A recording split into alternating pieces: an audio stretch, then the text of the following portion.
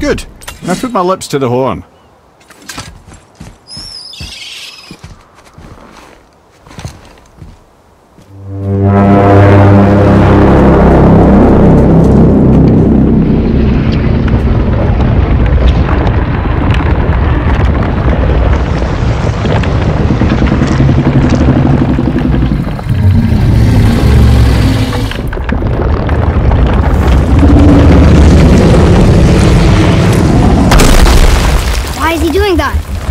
Odin had that statue made in honor of Thor.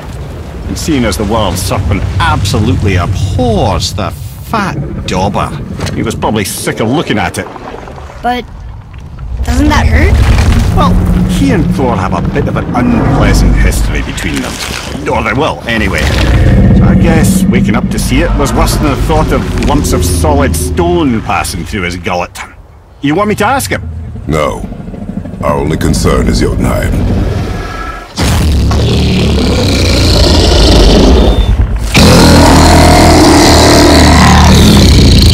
All right, wish me luck. Uh, ooh, ha, ha, ha. You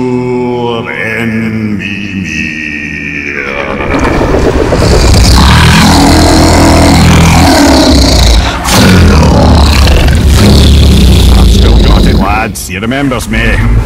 Why you? Eh, ah, oh, no, that's not right. Eh. eh Makuna huntun kun. Ahon e ekono tunno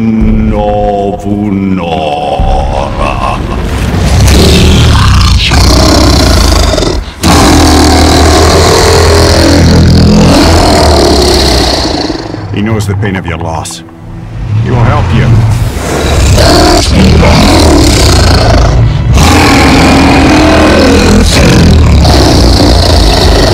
Ethniun Folklore. Curious.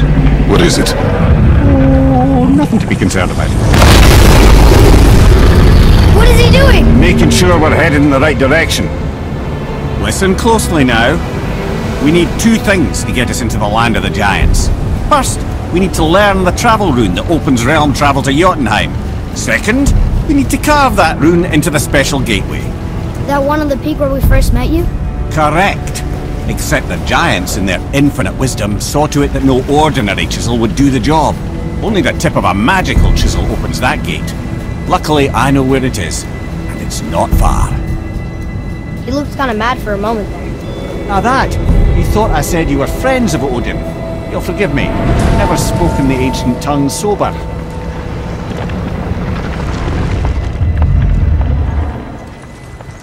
Wait, look! The water's dropped even further. You can see more of the realm towers and statues. I haven't seen new places to explore along the shore. Where is this chisel? Find me a boat, and we'll go from there.